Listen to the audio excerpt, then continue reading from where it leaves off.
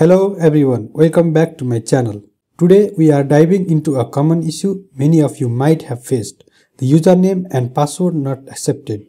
Error on the NodeMailer email sending service in your Node.js application. I will guide you through the process. So let's get started. Firstly, in my Node.js application, I have a post request for creating orders and the callback function for this request named create order is located in the controller. Inside this controller, the node NodeMailer setup and email sending logic are implemented. I start by requiring NodeMailer here. This is the node NodeMailer transporter setup with host, port and authentication details. Also, here is the simple logic for OTP. I have a function called send OTP mail that takes user's email and sends an OTP to their logged in email. This is my mail info where subject to an OTP are attached. This is the actual content that appear on the user's email. Finally, I use transporter.sendEmail function to send email. Now my server is running on given port. I will open Postman, trying hitting the request, create order request. That sends OTP to mail.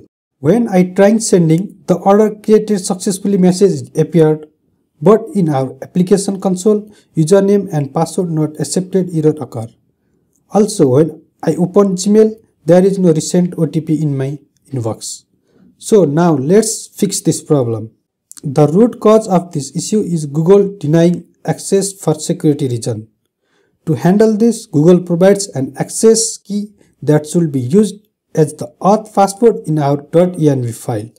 Let's go through the steps to obtain this app key access. Open Gmail, click on your account and click on manage your Google account. Click on security. Here you need to turn on two-step verification and then you can get app access key. So click on it. I have already turned it off and on many times. My interface may look different than yours. You can click on get started on your account, enter your Google account password, enter the OTP code and click on next. Click on turn on. Scroll little and find app password and click on it. Give a name of your application and click on create. Then it will generate a code that should be used as auth password in our node NodeMailer setup. So copy this code and click on done. Now go to your code editor. Here I have used email password in .env file. So I paste the recently copied app access code to here and save .env file. Make sure to save and restart the server. This path is used by NodeMailer create transport function. Now open Postman and try. There is no error here. Let's check on our application log.